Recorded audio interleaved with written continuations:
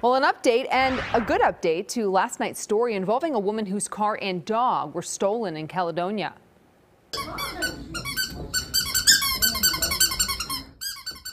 Well, tonight, Bruno, sweater and all, is back home. This is new video we just received from his family.